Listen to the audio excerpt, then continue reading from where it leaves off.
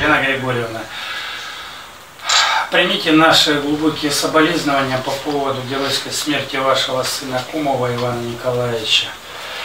Э, И примите эм, посмертно вот этот нагрудный знак, награду, э, который на сегодняшний день является единственной наградой на территории нашей страны, которой мы можем отметить э, подвиг вашего сына.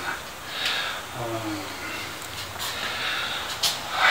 Еще раз примите соболезнования, сына не вернешь, но он отдал жизнь за то, чтобы э, дети Донбасса спокойно жили и дышали воздухом.